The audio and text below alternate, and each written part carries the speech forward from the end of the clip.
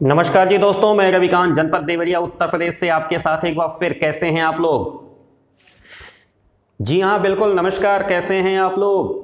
बढ़िया हैं। आज एक और बड़ी खबर हमारे हाथ लगी, उत्तर प्रदेश माध्यमिक शिक्षा परिषद के बोर्ड परीक्षाओं से रिलेटेड। जी हाँ बिना सत्र बदले अगले वर्ष फिर इंटर की परीक्षा दे सकेंगे छात्र। इस हेडिंग के साथ आज मैं आपके सामने हूँ। आज सुबह सुबह दैनिक सम्मानित समाचार पत्र, दैनिक जागरण के हवाले से मैं आपको खबर ये पहुँचा रहा हूँ आपके पास तक। सभी मित्रों का, सभी शुभचिंतक बंधुओं का, सम्मानित शिक्षकगण, अभिभावकगण, प्रधानाचार्यगण, और जितने भी हमारे प्यारे प्यारे स्टूडेंट्स मेरे इस वीडियो सेशन में मेरे साथ जुड़ते हैं, सभी का हृदय की गहराइयों से स्वागत करता हूँ, अभिनंदन करता हूँ और आपके सामने आज अपनी बात मैं रखना चाहता हूँ। कि दैनिक जागरण सम्मानित समाचार पत्र ने आज अपने मुख्य पृष्ठ पर स्थान दिया है इस खबर को कि बिना सत्र बदले अगले वर्ष फिर इंटर की परीक्षा दे सकेंगे छात्र। ये खबर मेरे हाथ लगी तो मुझे लगा कि आपके पास तक ये सूचना पहुंचनी चाहिए कि ऐसे छात्र जो इंटर की परीक्षा में इस वर्ष बैठने वाले हैं, मैंने आपको बताया था, लगभग 26 लाख परीक्षार्थी। पंजीकृत हैं, जो कि इंटरमीडिएट 2021 की परीक्षाएँ देने जा रहे हैं। इसके पहले मैं आपको धीरे धीरे बताता चलूँ कि लगभग 29 लाख परीक्षार्थी, क्षमा चाहूँगा 30 लाख, उनतीस दशमलव नौ चार लाख, यानी उनतीस लाख चौरानवे हज़ार के आसपास, यानी लगभग लगभग ये 30 लाख की संख्या है। जो हमारे हाई स्कूल के परीक्षार्थी थे, इनको सीधे सीधे प्रमोट किया जा रहा है और इसके लिए ज़िले स्तरीय पर कमेटियाँ गठित कर दी गई हैं, जो इनके अंकों को अपलोड करा करके चिन्हीकरण कर रही हैं। एक बार फिर से सभी ध्यान देंगे कि हाई स्कूल की बोर्ड परीक्षा को पूरी तरह से निरस्त करते हुए सभी बच्चों को कक्षा 11 में प्रमोट करने का निर्णय लिया जा चुका है। लगभग 30 लाख बच्चे इस निर्णय से प्रभावित हुए हैं, जिनको अगली कक्षा में प्रमोट किया गया है। इसके लिए कमेटी बना दी गई है।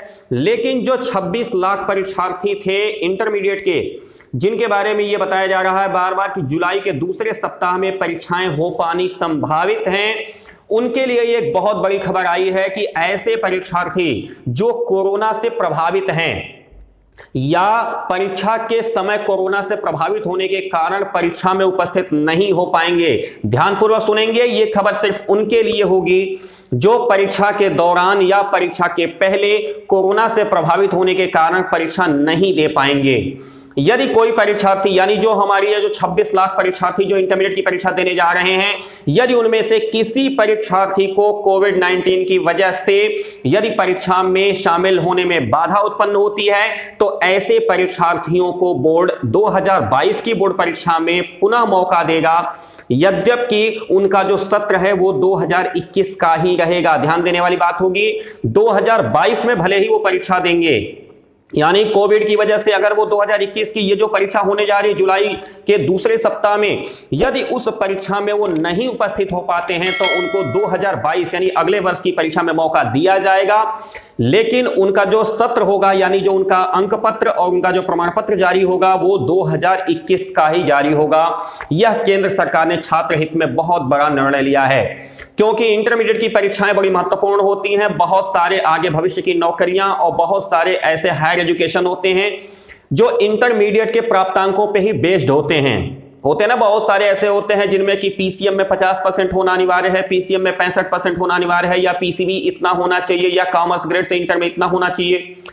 इन नियमों को देखने के वजह से सरकार ने यह निर्णय लिया है कि चाहे जो हो जाए, परिस्थितियाँ जैसी भी हो, परीक्षाएँ कराई जानी चाहिए। छात्र हित में यह अति आवश्यक है। यद्यपि हाई स्कूल के बच्चों को लेकर के संशय बना हुआ है कि उनकी जो परीक्षाएँ निरस्त हुई हैं, जो उनको प्रमोट किया जाएगा, वो प्रमोट कैसे होंगे? प्रथम श्रेणी, द्वितीय श्रेणी या तृतीय श्रेणी कैसे लिखा हुआ आएगा? या फिर जनरल प्रमोशन सबका एक साथ होगा? तो इस विषय पे कमेटी गठित कर दी गई है, जो अतिशीघ्र निर्णय लेकर के आपके सामने रखेगी।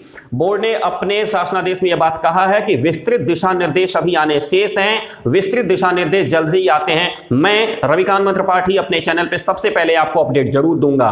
दोस्तों, मैं आपको एक साथ साथ बताता चलूँ कि जो हमारा आदेश आया है, उसमें बताया गया है कि इंटरमीडिएट की परीक्षा जो तीन घंटे पंद्रह मिनट की हुआ करती थी, उस परीक्षा का समय अंतराल घटा करके एक घंटा तीस मिनट कर दिया गया है। यानी तीन घंटे की जगह पे मात्र डेढ़ घंटे की परीक्षा में हम लोगों को बैठना है।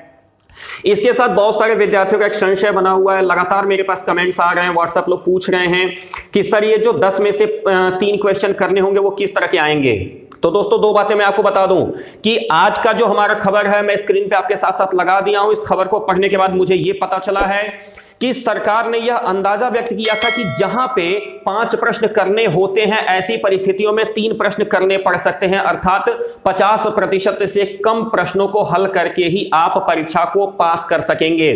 तो मित्रों, देखिए, आज का अखबार जैसा कि मुझे बता रहा मैं अखबार की line by line, Dainik Jagran, सम्मानित समाचार पत्र, देवरिया जागरण, प्रथम पृष्ठ में पढ़ रहा हूँ।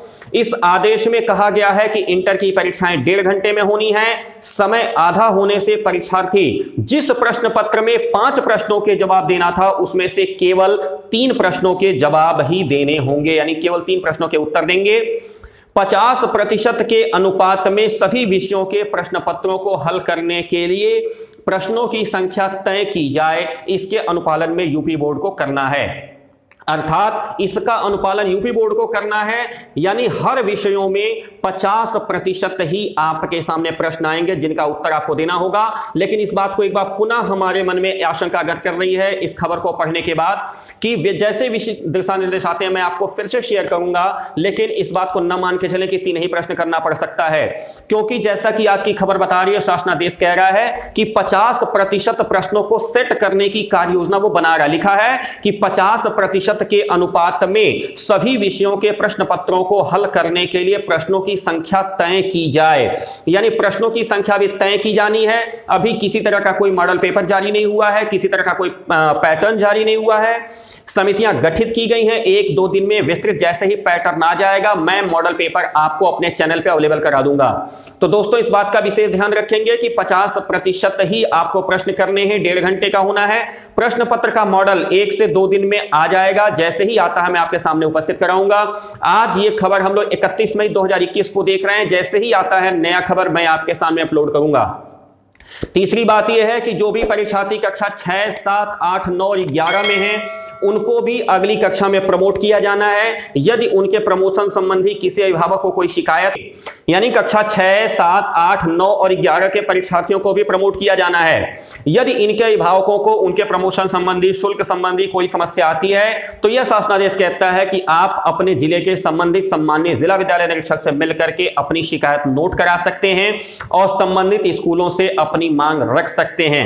तो मित्रों, ये बहुत बड़ी खबर थी कक्षा छह, सात, आठ, नौ और ग्यारह के सभी जो आंतरिक मूल्यांकन वाले परीक्षार्थी थे, सभी प्रमोट हो रहे हैं। इनकी जो निगरानी समिति है, वो सम्मान्य जिला विद्यालय निरीक्षक की अध्यक्षता में है। आप अपने ज़िले से ही इसके से सॉल्व करा सकते हैं।